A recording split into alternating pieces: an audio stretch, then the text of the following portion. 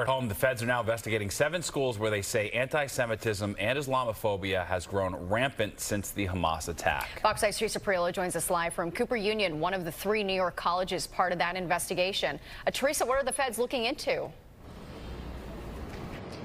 So Natasha and Steve, they're investigating whether or not these hate crimes are a violation of these students' civil rights. We're talking about Ivy League schools or little Ivies, the kind of schools that, that traditionally accept only the best and brightest students around the country. The question is, do they also have a problem with hate, specifically targeting Jewish and Muslim students?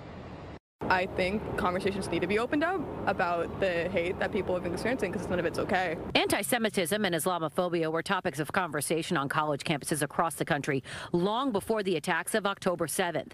But since that attack, incidents of hate crimes and violence have spiked dramatically. So much so the federal government is getting involved, investigating six major universities and one school district for their handling of hate. They've been othered by the system that's supposed to include everybody. Of the seven under review, Cooper Union, Columbia, and Cornell.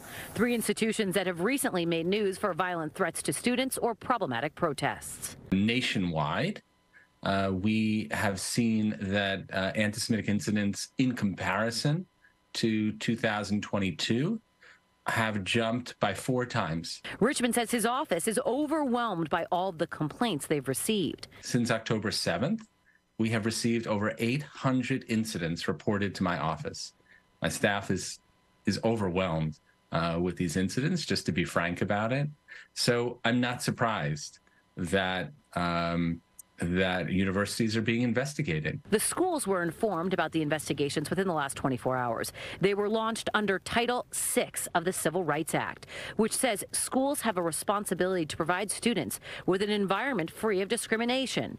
We reached out to the schools for comment. They wouldn't speak, but the students did. We've had a lot of people harassment. Uh, a lot of comments have been made. I think the students, uh, like themselves, are doing quite enough. I support the government in their attempt at making um, anti-Semitism a real issue on campus that schools have to look at.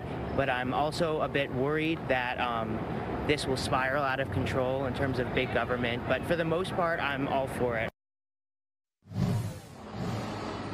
So at the end of these investigations, the Department of Education will make some recommendations. Steve, these schools are at risk of losing their federal funding if they don't comply. That's the latest from the East Village tonight. Back to you in the studio. Very well. All right. Thanks, Teresa.